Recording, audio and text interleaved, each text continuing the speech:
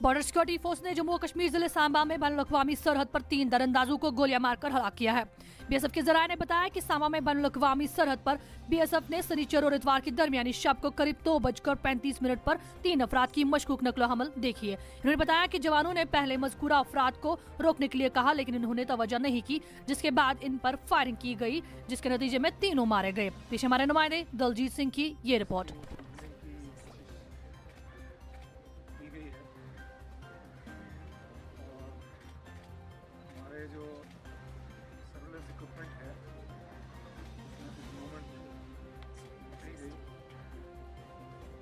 duty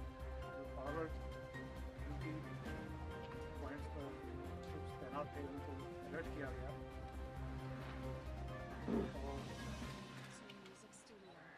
Pakistan की तरफ़ से